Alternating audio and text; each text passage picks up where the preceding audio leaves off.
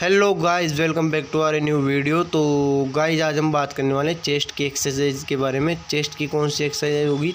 तीन एक्सरसाइज होगी और तीनों मिडिल चेस्ट के लिए होगी। कौन कौन सी होगी? Flat bench press flat bench dumbbell press और फ्लैट बेंच डम्बल फ्लाई तो चलिए गाइज़ वीडियो को शुरू करते हैं बिना देरी के।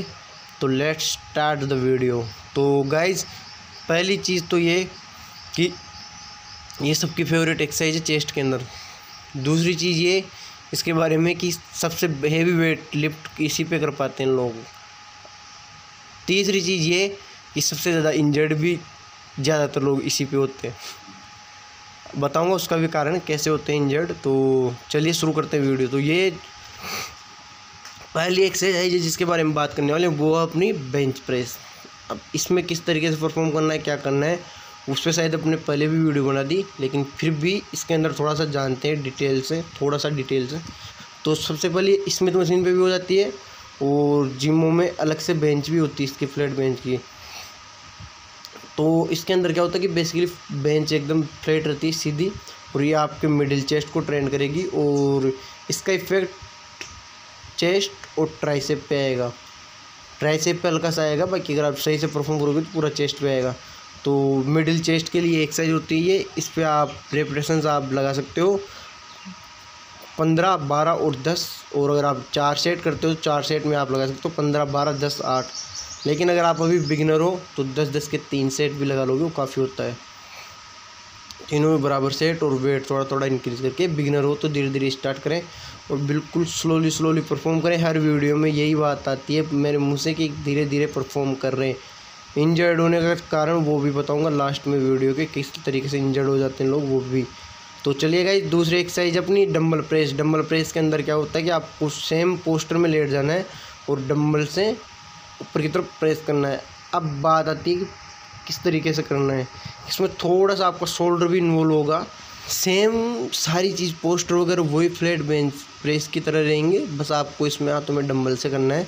और एक चीज़ का ध्यान रखिए कि डम्बल से करो तो दोनों डम्बल बराबर वेट के होने चाहिए। इस चीज़ का ध्यान रखना, क्योंकि कई जिमों में सेम वेट के डम्बल सेम यानी साइज़ सेम होते हैं, वेट कम ज़्यादा हो जाता है। तो इस चीज़ का ध्यान रखें, कई बार हो जाता है जल्दीबाजी में। तो एक चीज़ तो ये हो गई, इसमें ध्यान रखने की। दूसरी चीज़, हाथों को बराबर उठाएँ, दोनों को बराबर वेट लिफ्ट करें। एक को एक को ऊँचा, एक को नीचा, एक को कम, एक को ज़्यादा, ऐसे ना करें। और सेट्स सेट्स आप अगर तीन लगाते हो तो रेपिटेशन बारह, दस, आठ होंगे। सेट्स अगर आप चार लगाते हो तो पंद्रह, बारह, दस और आठ होंगे।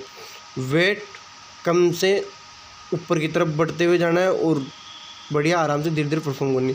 तीसरी एक्सरसाइज अपनी डम्बल फ्लाई इसके अंदर भी लेटना सेम पोस्टर पे हाथों को एकदम सीधे रखना है, ऊपर की तरफ़, और बिल्कुल स्लोली परफॉर्म करना है। ठीक है धीरे धीरे आराम से। तो ये भी बहुत ही बढ़िया एक्सरसाइज है। और इसके अंदर ज़्यादा डिटेलिंग की कोई दिक्कत नहीं है बट डम्बल फ्लाई के अंदर आराम से आप परफॉर्म कर सकते हो। इसमें चेस्ट को अपर की तरफ़ पंप करके रखना है। तो चलिएगा इंजरी की बात करते हैं। इंजरी कैसे करवाते हैं लोग बेंच प्रेस में? बेंच प्रेस में इंजरी ऐसे करवाते हैं कि जैसे बिगिनर लोग आ गए। बिगिनर लोग क्या करते हैं कि वेट उठाते रहते हैं एक्सरसाइज करते रहते हैं। धीरे धीरे कम कम से स्टार्ट कर लिया। फिर क्या होता है कि कोई दूसरा बंदा वेट मार रहा हो तो पाँच के जी एग्ज़ाम्पल के लिए, वो दस के जी लिफ्ट करेंगे तो इस चक्कर में काफ़ी लोगों की इंजरी हो जाती है, काफ़ी लोग बेड रेस्ट पे चले जाते हैं काफ़ी दिनों के लिए तो इस चीज़ का ध्यान रखें, कभी भी अपनी लिमिट हो, उस तरीके से काम करें अगर आप लिमिट से ज़्यादा वेट उठा रहे हो तो पिक्चर सपोर्ट के लिए किसी को खड़ा ज़रूर रखें। विदाउट सपोर्ट के अगर आप हेवी वेट लिफ्ट कर रहे हो तो आपको काफ़ी भारी मात्रा में नुकसान भी हो सकता है और इंजरी भी हो सकती है। तो चलिए गाइज़ वीडियो यही थी और इन्हीं तीन एक्सरसाइज के बारे में बात करना था और धीरे धीरे अपनी तीन तीन एक्सरसाइज करके मैं धीरे धीरे वर्कआउट वो भी बनाऊँगा वर्कआउट के ऊपर कि एक दिन में आप कौन सा वर्कआउट कर सकते हो। तो पहली चीज़ अगर आप चाहते हो कि मैं खुद का फेस रिवील करके खुद की खुद की सीरीज़ लॉन्च करूँ तो उससे पहले आपको मेरा एक टारगेट हिट करना पड़ेगा वन लैख सब्सक्राइबर्स कराने का तो वो आपको जल्दी से जितना जल्दी हो सके जितना जल्दी करवाइए। तो काफ़ी लोग बोलेंगे कि भाई सौ सब्सक्राइबर भी कंप्लीट नहीं हो तो डायरेक्ट हंड्रेड के की बोल रहा तो देखो बड़ा सोचोगे तो बड़ा पाओगे और बड़ा कुछ करेंगे तो बड़ा करना ही पड़ेगा अपन को। तो चलिए गाइज़ जल्दी से हिट करवाइए और वीडियो कैसा लगा, वीडियो अच्छा लगा तो वीडियो को लाइक करें शेयर करें कमेंट करें और चैनल को सब्सक्राइब करें। जय हिंद, जय भारत, जय जवान, जय किसान। मिलते हैं एक नेक्स्ट वीडियो में। Take care